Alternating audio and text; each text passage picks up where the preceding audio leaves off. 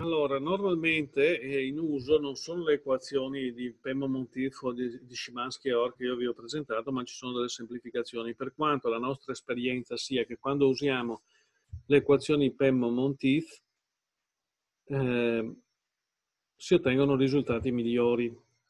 Però sono, le equazioni sono queste, possono considerarsi complicate perché dobbiamo valutare il delta, dobbiamo misurare le radiazioni, dobbiamo, eh, dobbiamo eh, misurare il deficit di, eh, evaporativo, dobbiamo valutare se B e A sono 1 uguale a 2, dobbiamo valutare le velocità orizzontali del vento. Può diventare complicato in alcune situazioni. Allora, come sono semplificate queste equazioni?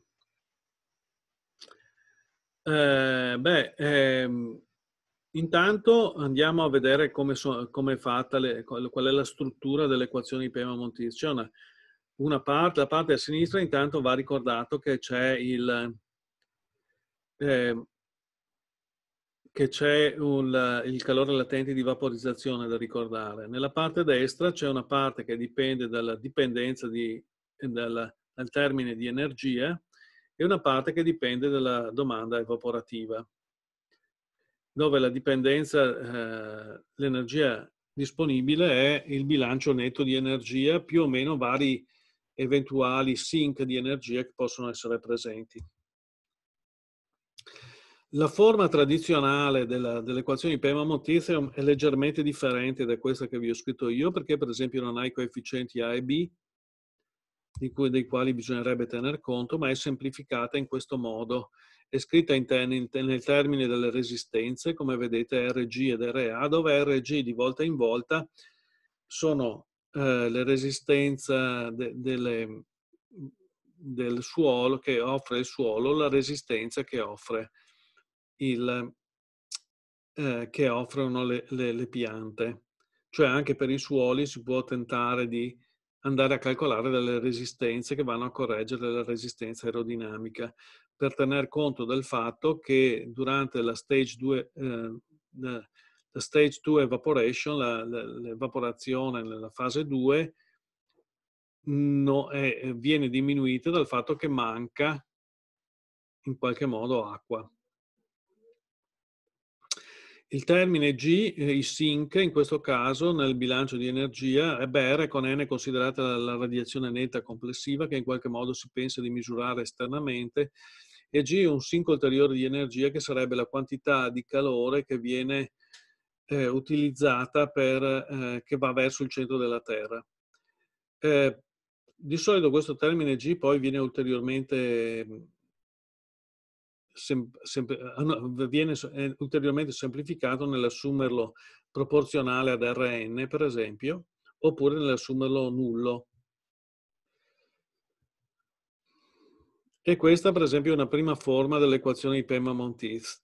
Eh, l'equazione però è stata ulteriormente semplificata eh, per il suo uso in agricoltura, eh, usando uh, la radiazione media giornaliera, che in questo caso R con N in questo caso diventa la radiazione media giornaliera, e usando dei coefficienti che sono stati calibrati, questi V con F, che hanno a che fare con, um, il, eh, con la misura del vento e, ed è, sono in particolare pari a 0,27, 1 più la velocità del vento misurata a 2 metri diviso 100. Questa è una formula eh, semplificata che trae origine, c'è anche un coefficiente C davanti e esistono delle tabelle che danno questi coefficienti anche in funzione delle colture de che, eh, delle colture che si vogliono analizzare.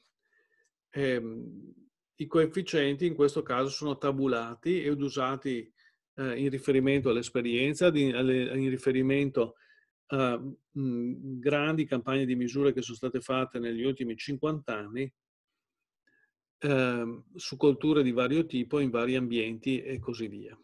Quindi, per esempio, si può usare questa formula e questa formula, se usata propriamente, dà dei risultati ehm, ragguardevoli, direi, nel, nella precisione. Un'altra semplificazione che si è andata a, affermando, scusate, quella è l'approssimazione che è chiamata di Priestley-Taylor. In questo caso B uguale a 1 e A uguale a 1. Eh, la parte di ehm,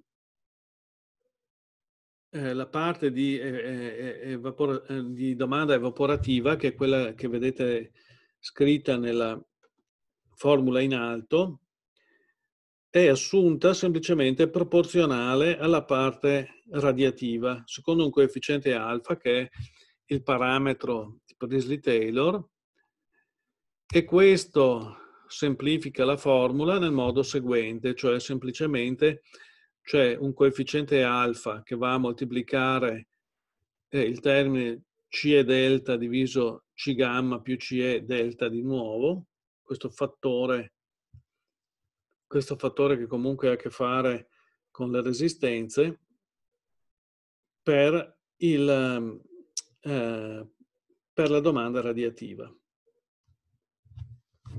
Alfa diventa un vero e proprio eh, eh, diventa un vero e proprio coefficiente di taratura.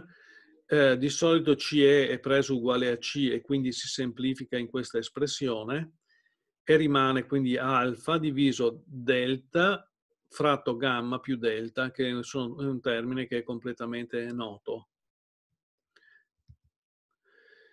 Eh, nel, nel, software che voi andrete ad usare queste formule sono pienamente implementate e poi ne discuteremo anche con più dettaglio i parametri in seguito. Eh, ci sono delle domande su questi aspetti?